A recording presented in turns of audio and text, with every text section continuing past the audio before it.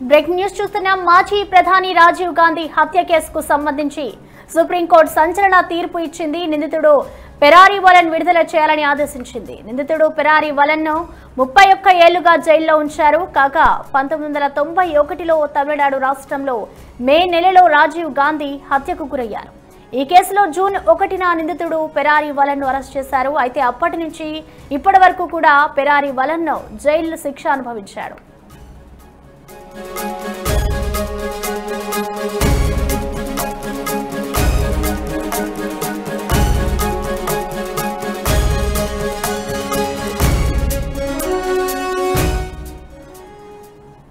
దీనికి సంబంధించిన పూర్తి వివరాలు మా ఇన్పుట్ ఎడిటర్ అశోక్ రెడ్డి అందిస్తారు. అశోక్ రెడ్డి.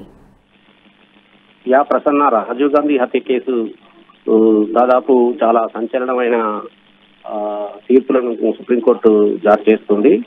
ఇందులో భాగంగానే రాజీవ్ గాంధీ హత్య కేసులో ప్రధాన నిందితుడైన పెరరి వాళ్ళ విడుదలకు ఈ రోజు ఆదేశాలు జారీ చేసింది. ఇతను ముప్పై ఒక్క ఏళ్ళుగా జీవిత ఖైదు అనుభవిస్తున్నారు. పంతొమ్మిది వందల తొంభై ఒకటి May twenty first Rajiv Gandhi తమిళనాడులోని పెరమదూరులో ఎన్నికల ప్రచారంలో పాల్గొంటుండగా ఒక మహిళ న- నళిని అనే మహిళ ఆత్మాహుతి దాడి చేసింది. ఈ సందర్భంగా రాజీవ్ గాంధీ అక్కడికక్కడే మృతి చెందారు ఈ కేసులో దాదాపు ఒక ఎనిమిది మందికి జీవిత ఖైదు పడింది. ఈ నళిని ఎవరైతే ఆత్మాహుతి దాడికి పాల్పడిన నళిని ఈ పకడ్బందీగా ఎన్నికల ప్రచారంలో పాల్గొంటూ రాజీవ్ గాంధీకి పూలదండ వేసే సమయంలో ఆమెకు అపాయింట్మెంట్ లభించింది. ఈ సందర్భంగా ఆమె నడుముకు బాంబు బాంబుల దాడి చేయడం వల్ల వెంటనే అక్కడ పెద్దపోయి పెద్ద ఎత్తున ప్రమాదం జరిగింది. అక్కడ రాజీవ్ గాంధీ ఆ ప్లేస్లోనే అక్కడికక్కడే మృతి చెందిన సంఘటన. ఈ కేసులో ఎనిమిది మందికి జీవిత ఖైదు పడింది. నైన్టీన్ నైన్టీ వన్ జూన్ పదకొండున చెన్నైలోని పెరివరలను అరెస్ట్ చేశారు. అప్పటి నుంచి ఈయన జైల్లోనే ఉన్నారు. అయితే తాజాగా సుప్రీంకోర్టును ఈయనకు విడుదల చేయాలని చెప్పేసి ఈ రోజు తీర్పు వెల్- వెలువడించింది.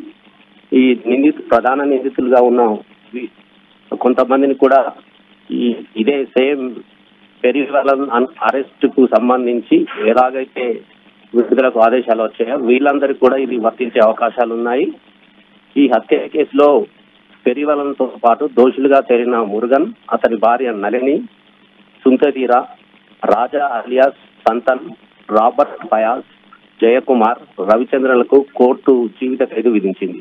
అయితే ఈ ఏడుగురిని విడుదల చేయాలని గతంలో తమిళనాడు మంత్రివర్గం అసెంబ్లీలో తీర్మానం చేసింది. ఇటీవల పెరికేరి వాళ్ళను విడుదల చేయడంతో పాటు సుప్రీంకోర్టులో పిటిషన్ వేశారు. ఈ కేసును విచారించిన ధర్మాసనం రాజీవ్ గాంధీ హత్య కేసులో ఫెరారీ వాళ్ళను నిర్దోషిగా ప్రకటించింది.